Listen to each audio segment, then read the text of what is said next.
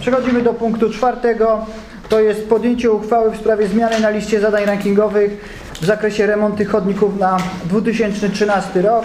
I od razu w imieniu zarządu chciałem zgłosić autopoprawkę, którą Państwo radni otrzymaliście najpewniej a więc która brzmi e, na liście rankingowej zadań powierzonych w zakresie remontu chodników na 2013 rok wprowadza się pozycję W, nowe zadanie pod nazwą remont chodnika przy szkole podstawowej wzdłuż sali gimnastycznej.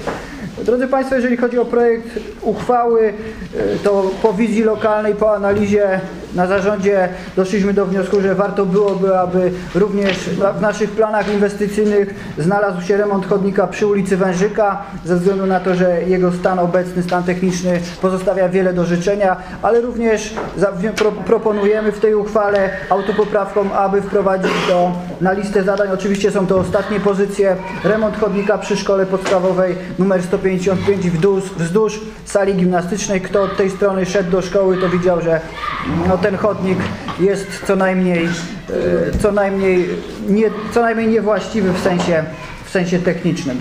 E, Tyle z mojej strony, drodzy Państwo. Czy komisje opiniowały ten projekt uchwały? Nie. 22. A to już 22 listopada, to już. Nie było opinii. Rozumiem, drodzy Państwo, otwieram dyskusję. Czy ktoś z Państwa radnych w tym punkcie chciał zabrać głos? Pani Halina? Tak? Nie, nie, nie, ja chciałam już pociszyć dzieci. Aha. Drodzy Państwo, nie widzę żadnych zgłoszeń dyskusji, w związku z czym zamykam dyskusję i przechodzimy do głosowania. Przypominam, głosujemy projekt uchwały wraz z autopoprawką zarządu. Kto z Państwa radnych jest za przyjęciem tej uchwały? Proszę o podniesienie ręki. 18 za. Czy ktoś jest przeciw? Nie widzę, czy ktoś się wstrzymał od głosu.